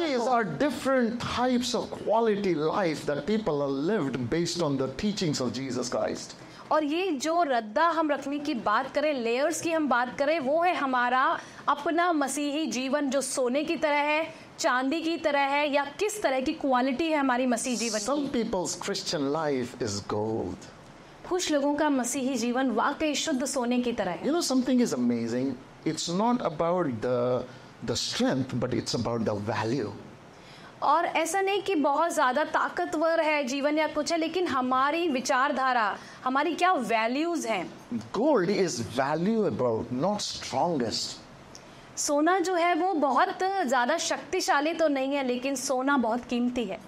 या सो और इसीलिए यहाँ पर ये वचन जो है इसमें ये भेद है कि आप किन चीज़ों आपके लिए क्या कीमती है जी next verse will explain it even more अगला वचन। But on the judgment day the fire will reveal what kind of work each builder has done the fire will show if a person's work has any value और लिखा है कि न्याय के दिन हरेक का काम प्रकट हो जाएगा। अब वो आग आएगी और वो बताएगी कि तुम्हारा काम कैसा है। Now go back to the previous verse बारवां पद दोबारा देखिए। What happens when you put gold into fire अब अगर हम सोने को डालेंगे आग में तो क्या होगा? Does it lose its property और डज इट बिकम प्योर बिल्कुल। अपनी शुद्धता खोएगा नहीं सोना बल्कि सोना और शुद्ध हो जाएगा। So fire makes it more valuable तो आग जो है सोने को और भी चोखा बना देती है। What happens with silver? चांदी के साथ क्या होगा? Fire makes it more valuable. हाँ, बिल्कुल आग में जाते चांदी भी शुद्ध हो जाती What happens with jewel? और जो ये बहुमूल्य पत्थर हैं तरह तरह fire makes it more valuable है ना? फायर में आग में जाके ये भी शुद्ध हो जाएँगे। But what happens with wood लेकिन अगर काठ लकड़ी हो तो क्या होगा? What happens with hay and straw और घास फूस और लकड़ियों का क्या होगा? डिस्ट्रॉयड पूरी तरह से जलकर खाक हो जाएँगे। Is the foundation is Jesus Christ destroyed और the buildup on the foundation is destroyed अब यीशु मसीह जो खुद में एक नींव है वो वहाँ पे डिस्ट्रॉय होगा या जला दिया जाएगा या उसके ऊपर जिस तरह के रद्दे आपके कार्य हैं वो डिस्ट्रॉय होंगे। ऑब्वियसली हमारे काम won't you build will be destroyed उस फाउंडेशन के ऊपर हम क्या रद्दा रख रहे हैं? Go to verse number fourteen चौदवा पद। If the work survive the builder will receive a reward लेकिन अगर तुम्हारा कार्य वो वैल्यू है तुम्हारे काम की या तुम उतने शुद्ध हो और डिस्ट्रॉय नहीं होते हो तो फिर उसको मजदूरी भी मिलेगी उस दिन। रिवॉर्ड कि आपको एक पुरस्कार मिलेगा यदि आपका काम बना रहे Now, what is that work? Now, question, um, let me explain it. People live their life by faith in Jesus Christ, they are building their life on gold. अब ये जो रद्दे हमने बात की है कि सोना चांदी और हमारे जो कामों को डिपिक्ट कर रहे हैं तो यदि मेरा विश्वास यीशु मसीह पर है तो मेरा रद्दा सोने का है you build it on the character of Jesus Christ you are building on gold अगर आप यीशु मसीह के चरित्र में चल रहे हैं तो आप सोने की फाउंडेशन रख रहे हैं। Your Christian life is filled with Holy Spirit and you building it your everyday life you living in consciousness of the Son of God you building it on gold यदि आप पवित्र आत्मा से परिपूर्ण हैं आप अपने विवेक में शुद्ध हैं तो आप सोने और चांदी के रद्दे लगातार रख रहे हैं। Every choices is are making in your life on your daily chores you are doing as the son of the living God expect you know looking at Jesus you making decisions then you are building it on gold हमारे रोज़मर्रा की ज़िंदगी में किस तरह के हम निर्णय लेते हैं? क्या मैं हर बात में प्रभु को महिमा देती हूँ? उसके बारे में सोचते हुए यदि आप एक एक रद्दा रख रहे हैं तो फिर आपका काम स्ट्रॉन्ग है बना रहेगा। But if you building your Christian life on emotions लेकिन अगर आपकी भावनाओं पर जीवन है आपका you hurt me so I am not gonna talk to you anymore और हम ऐसे भावनाएँ कि ये तुमने मुझे दुख पहुँचाया मैं आपसे दूरी बना लेती। या I if I do that attitude with sister और अगर पासवान का ऐसा ही व्यवहार है मेरी ओम that I am gonna hate you because you hated me क्योंकि आप सिस्टर मुझे नफरत करती हैं तो मैं भी आप और because you did not respect me I am gonna hate you और क्योंकि आपने मेरी इज़्ज़त नहीं की तो मैं आपको नफरत करता हूँ। I will have nothing to do with you और मुझे आपसे कोई वास्ता नहीं रखना। I will still make up to heaven but my work will be burned मैं ज़रूर स्वर्ग जाऊँगा लेकिन मेरे काम भस्म हो जाएँगे। Why because I did not build our relationship with pure God that is Jesus क्यों? क्योंकि मैंने विश्वास तो किया लेकिन मेरे काम जो हैं वो कैसे हैं? वो ऐसे जो भस्म करने वाले हैं। Jesus now I want you to understand something else next verse आइए हम अगला पद देखते हैं। Verse number 15 says something beautiful But if the work is burnt up, the builder will suffer great loss. Next line says the builder will be saved, but like someone barely escaping through a wall of flames. अब यहाँ पे पॉलुस और भी बहुत अच्छा लिख रहे हैं कि आपका काम तो जल जाएगा और आपको बहुत भयंकर वाली हानि भी होगी और आप बच तो जाओगे लेकिन ऐसे जैसे जलते जलते बचे हो See what is he saying? You will be saved, but you will have nothing to show. कि आप बच तो गए हो आप नाश तो नहीं हुए लेकिन आपके पास कुछ बचा नहीं दिखाने के लिए Many people on the day of the coming of the Lord, their Christian life will be like this. और बहुत देरों का उस न्याय के दिन प्रभु यीशु मसीह के आगमन वाले दिन हा- बहुत देरों का हाल शायद ऐसा ही हो They build big things, big ministries here, बहुत बड़ी बड़ी सेवकाइयाँ हो सकती है। मे बी बिग नेम और बहुत बहुत फ़ेमस हो सकते हैं। मे बी बिग मनी और बहुत सारा पैसा उनके पास हो सकता है। लेकिन प्रभु के आगमन के दिन जब आपके उन रद्दों को देखा जाएगा आपके उन your relationships are tested, जब आपके संबंधों को जांचा जाएगा your character is tested, जब आपके चरित्र को परखा जाएगा your choices are tested, आपने कैसे निर्णय लिए जीवन में उनको परखा your जाएगा dealings are tested. आप कैसे दूसरों के प्रति व्यवहार रखते हैं उनको परखा जाएगा Every thought that you did was tested. और हर एक वो विचार जो कोई और नहीं जानता उसको Every words that you spoke tested. हर एक वो वचन जो आपके मुँह से निकला Every action you took tested. हर एक आपकी प्रतिक्रिया The one who has built everything on gold, meaning Christ centric, will survive and receive a reward. Anything that was not Christ centric will be burned. और उस दिन यदि आपके काम चोखे सोने के समान है तो आपको उसका पुरस्कार मिलेगा और यदि आपके काम सारे भस्म हो गए हैं उसका रिवॉर्ड तो शायद नहीं। Imagine two kinds of people one in royal crown standing, and another one, उसके कपड़े भी जले हुए हैं. He's just barely made out of fire. और उस दिन कैसा होगा वो दिन जब हम बच तो गए हैं लेकिन एक जो प्रभु को जानने वाला उद्धार पाया गया व्यक्ति उस मुकुट के साथ वहाँ पर खड़ा होगा और दूसरा व्यक्ति जिसके कपड़े भी जल चुके हैं और वो शर, शर्मिंदा सा ही खड़ा होगा। वो दोनों नए जन पाए हुए विश्वासी हैं। दे दोनों क्षमा किए गए लोग हैं। गिफ्ट ऑफ़ सल्वेशन दोनों को उद्धार का पुरस्कार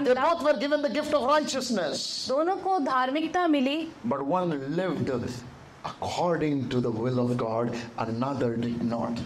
लेकिन एक ने प्रभु के इच्छा के अनुसार अपना जीवन व्यतीत किया और दूसरे ने नहीं। One will walk in glory another one will be putting his head down और एक व्यक्ति प्रभु की उस महिमा में प्रवेश कर जाएगा और दूसरा शायद शर्म से झुका होगा how will you want to be that day आप और मैं कैसा उस दिन दिखना चाहते हैं? Because we will be judged क्योंकि न्याय तो हमारा भी होगा। Bible says the judgment of the house of God will be severe कि जिस वो प्रभु के घर का जो न्याय होगा वो भी भयंकर होगा उस दिन। Why because everything will be tested क्योंकि वो जो बचाए गए लोग हैं उनका जो न्याय होगा उसमें तो सब कुछ परखा जाएगा you may think quietly you did something nobody knows will be judged और जैसा हम जानते हैं कि ऐसे बहुत से काम है किसी को नहीं पता वो सारे कामों का न्याय होगा।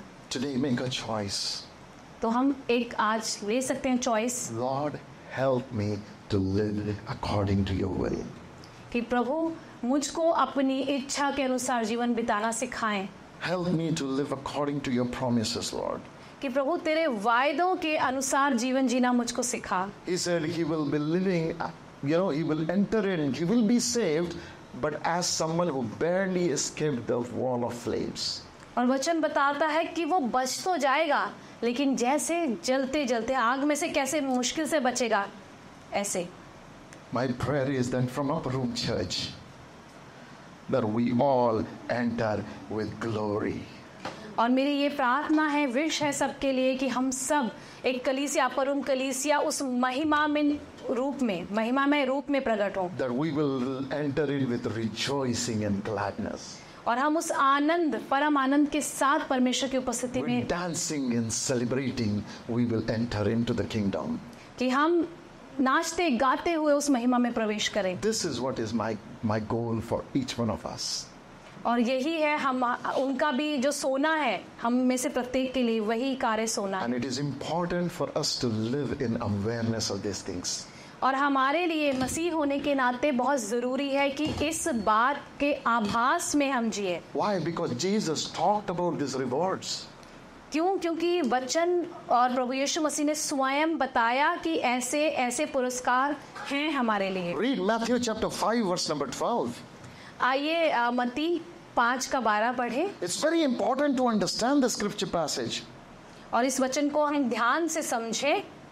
Bible says, "Be happy at it, be very glad, for a great reward awaits you in heaven." And remember, the ancient prophets were persecuted in the same way. और वचन बताता है कि आनंदित और मगन होना उस दिन जब स्वर्ग में तुम्हारे लिए बड़ा प्रतिफल है इसलिए कि उन्होंने उन भविष्यवक्ताओं को जो तुमसे पहले थे इसी रीति से सताया था You know, Jesus is telling his disciples, "You will be persecuted in this earth." यीशु मसीह अपने चेलों को बता रहे हैं कि तुमको यहाँ सताया जाएगा। Church let me tell you great days of prosecution are coming in India और कलीसिया ये जान लें कि इंडिया में भी बहुत सताव के दिन भयंकर दिन आने वाले हैं। और पता नहीं शायद जिस तरह से आज हम मिल रहे हैं हमको ऐसे मिलने की आज़ादी हमें नहीं पता कि आने वाले दिन कैसे हो बट वट एवर लेकिन जो भी हो make sure you build your life on pure gold that is Christ consciousness लेकिन ये बात जान ले कि हमारे कार्य शुद्ध सोने के समान हो और हमारी नींव प्रभु यीशु मसीह के उस शुद्ध विवेक जैसे। Don't let the evil treatment of the world define the quality of your life ये जो दुनियावी जो बुरा चाल चलन है बुरा व्यवहार है वो हमारे चाल चलन को प्रभावित बिल्कुल ना करे Imitate Jesus Christ. हमको किसके तरह चलना है कैसा हमको कॉपी करना है यीशु की तरह On the day of the crucifixion, he lived pure love. और क्रूस पर उस चढ़ने मृत्यु के समय पर भी वो पूरी तरह से शुद्ध था पाप रहित था How will you live pure love? और कैसे आप जिएँगे पवित्र प्रेम में How will you love कैसे प्रेम करेंगे? If you don't abide in love जब आप प्रेम में बने नहीं रहेंगे। But if you abide in Jesus his love will continue to overflow लेकिन यदि हम प्रभु के प्रेम में बने रहेंगे तो वो प्रेम की नदियाँ हम में से बह निकलेंगी। I want you to realise this आइए हम इस बात को समझे। और जब सताव आए ना आनंदित और मगन होना क्योंकि स्वर्ग में हमारे लिए एक बड़ा प्रतिफल। So what should be our response to prosecution तो हमारा क्या व्यवहार होना चाहिए के लिए? एंगर रिवेंज और रिजॉइसिंग कि हम गुस्सा करें रोए या बदले की भावना रखें या फिर आनंदित हो जाए। What should be our response to persecution? Rejoice, आनंदित हो जाए. When you are tortured because of your faith in Jesus Christ, be exceedingly glad.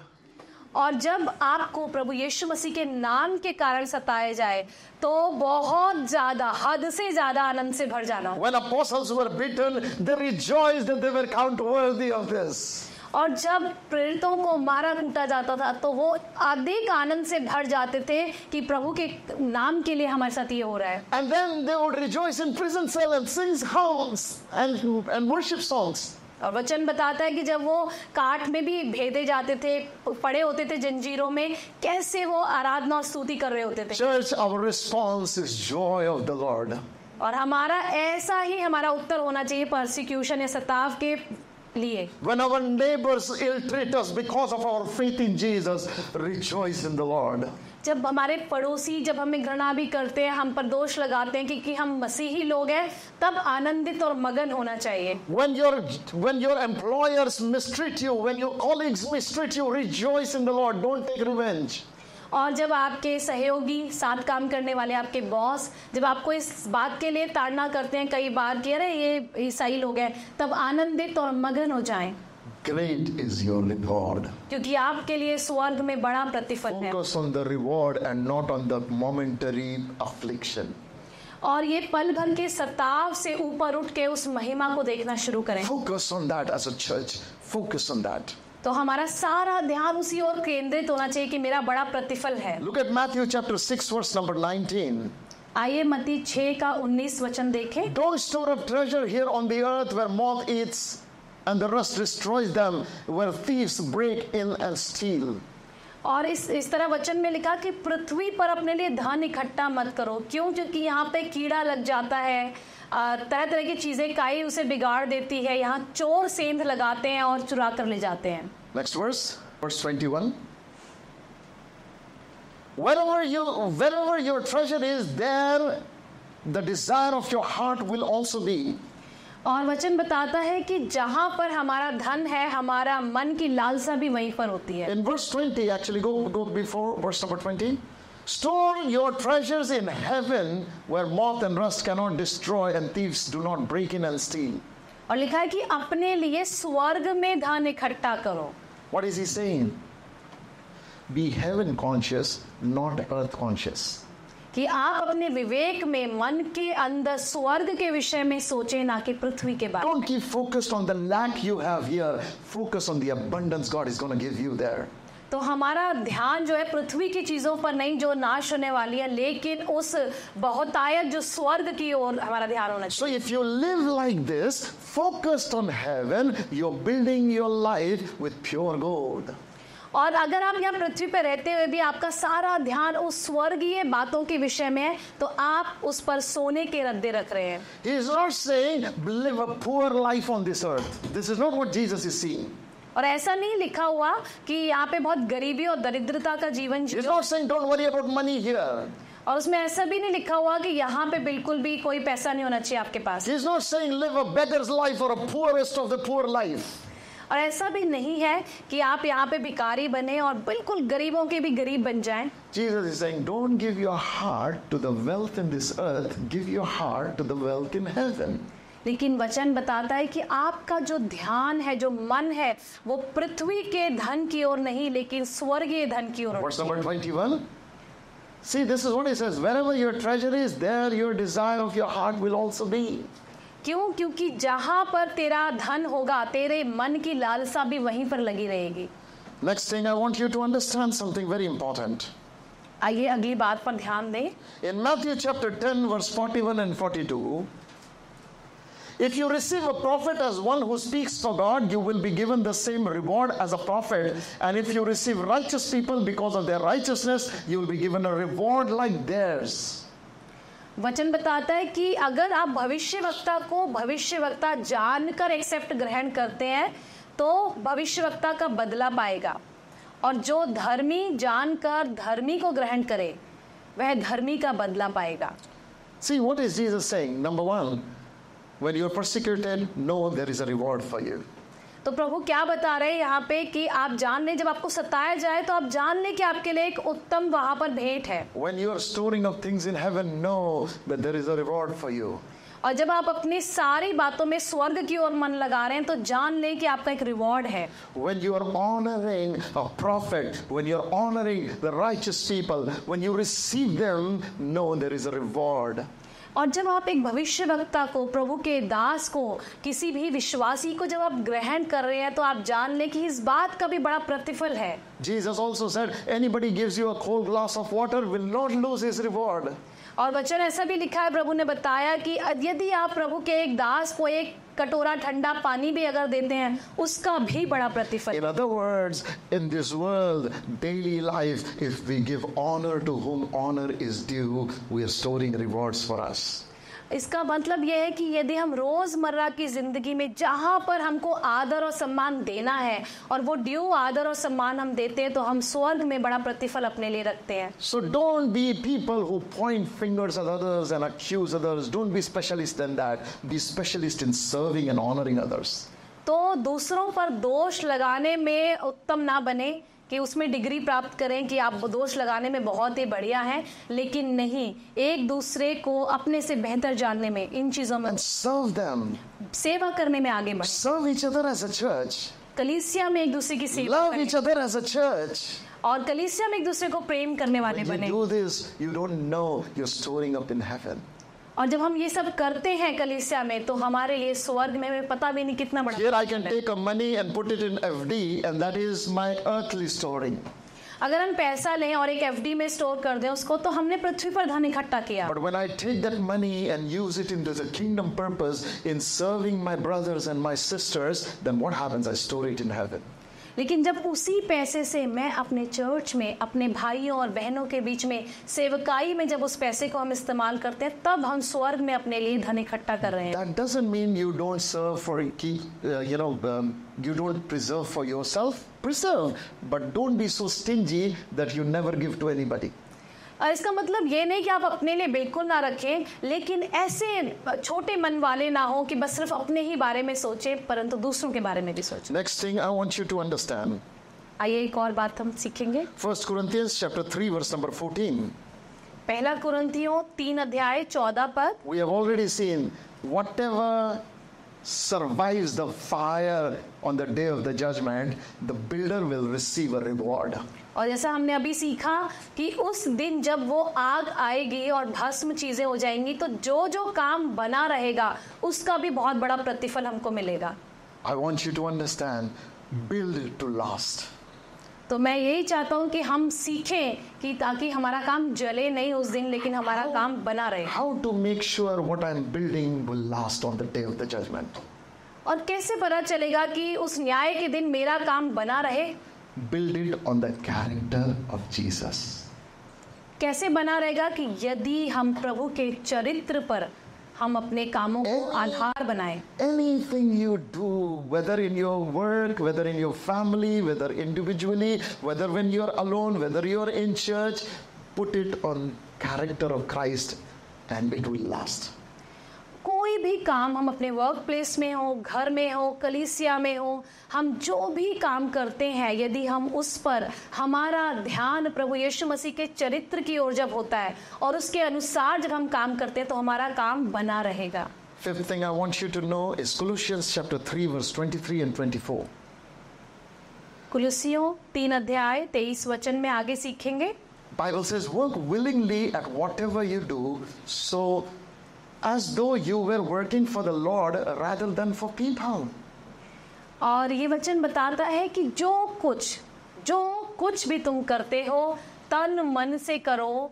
ये समझ कर कि किसी इंसान के लिए नहीं कर रहे लेकिन स्वर्गीय पिता के लिए प्रभु के लिए करते हो। If you working in your business work as if you working for Jesus और आप जब अपने बिज़नेस में काम कर रहे हैं तो ऐसे माने कि प्रभु के लिए कर रहे हैं। If you working as a staff in your company work as if you not working for your boss but you working for Jesus जब हम काम में भी होते हैं अपने हम कर रहे हैं दुनियावी काम कर रहे हैं तब भी मन में यदि हम रखें कि मैं ये अपने बॉस के लिए नहीं लेकिन प्रभु के लिए कर रहा हूँ। In your home when you're working work as if you're working for Jesus घर पे भी जब हम काम कर रहे हैं तो इस मंशा से करें कि मैं ये प्रभु के लिए कर रहा हूँ। God said to Israelite keep your camp clean because your God your maker comes to visit you और परमेश्वर ने इसराइलियों को कैसी आज्ञा दी कि अपने अपने तंबुओं को बिल्कुल साफ़ सुथरा कर लो क्योंकि तुम्हारा परमेश्वर यहोवा तुम्हारे बीच में आने वाला है।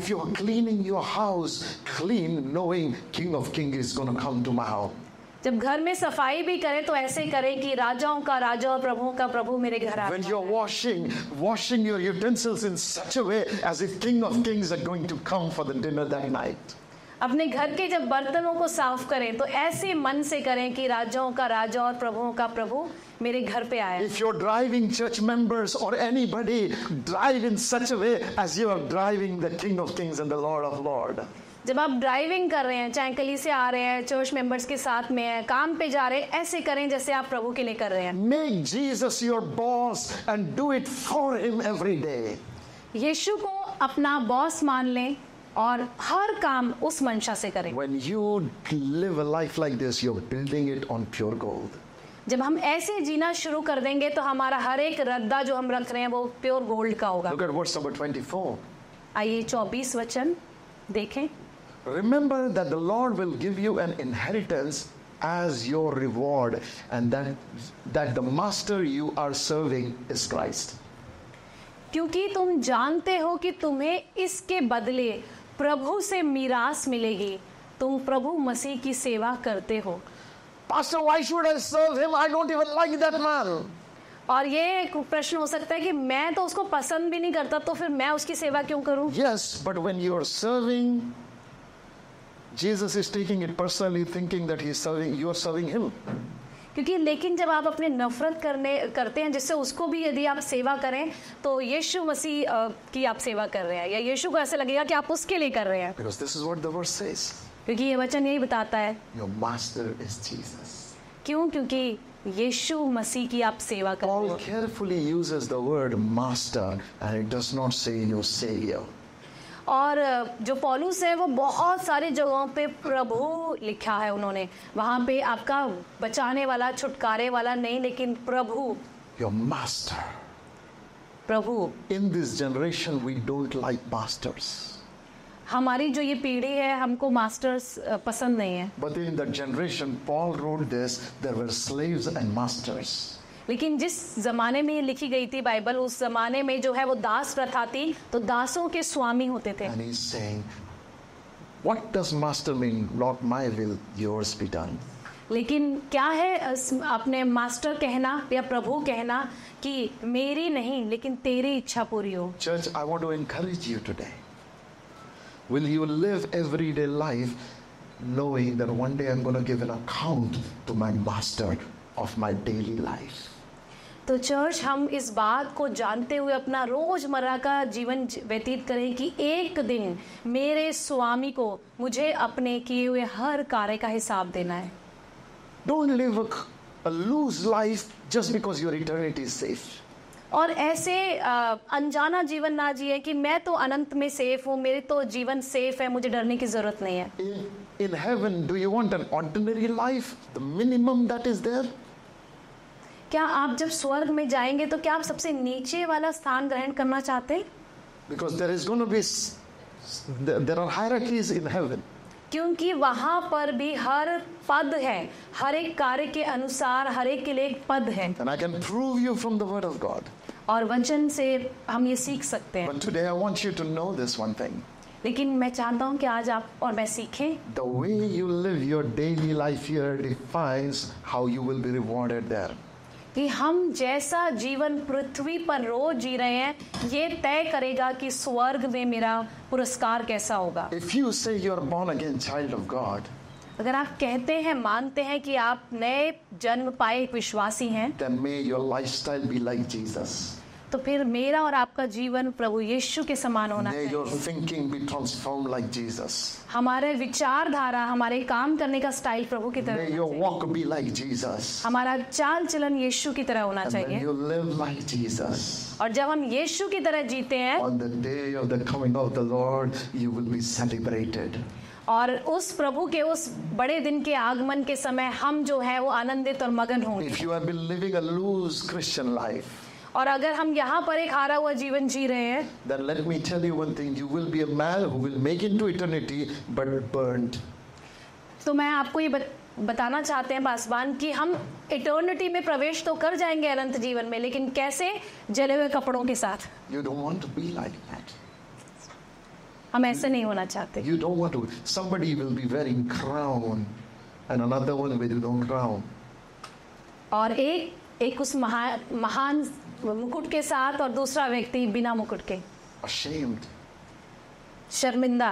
Don't be like that. I am ऐसे ना बने। Next week I am teach you about what should we do to obtain the crown और अगले हफ़्ते हम सीखेंगे कि हमको क्या करना है कि वो मुकुट हमको मिल जाए। For today what I have thought hold on to this teachings continue to build your life on this teachings and you will not lose your rewards और आ, इस सप्ताह के लिए आज हमने जो सीखा हम उस पे मनन करें उसको ग्रहण करें और उस पर अपना निरंतर हमारी जो चाल चलन है वो उस पर बेस हो जाए Got it? Everyone? Okay? Next week we will continue it, so don't miss out on next week. So so, जैसा हमने आज समझ लिया तो अगला सप्ताह भी मिस ना करें क्योंकि कुछ नया हमारे लिए रखा हुआ है May God bless you all.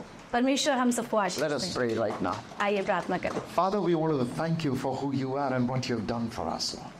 पिता हम आपका धन्यवाद देते हैं कि आप जो हैं और आपने जो हमारे लिए किया है। I thank you daddy that you are so precious Lord that you are faithful पिता मैं आपका धन्यवाद करना चाहता हूँ। आप कितने बहुमूल्य हैं और आपने कितना बड़ा बलिदान किया है। You are building your church आप अपनी कलीसिया को बना रहे हैं प्रभु। Lord I thank you for what you are going to do पिता मैं धन्यवाद करता हूँ जो आप करने वाले हैं। I pray in Jesus name that we all will run the race to obtain reward और मैं ये प्रार्थना करता हूँ ये प्रभु कि हम उस भाग में दौड़ने में प्रभु दौड़ लगाएँ ताकि हम उस मुकुट को पाले।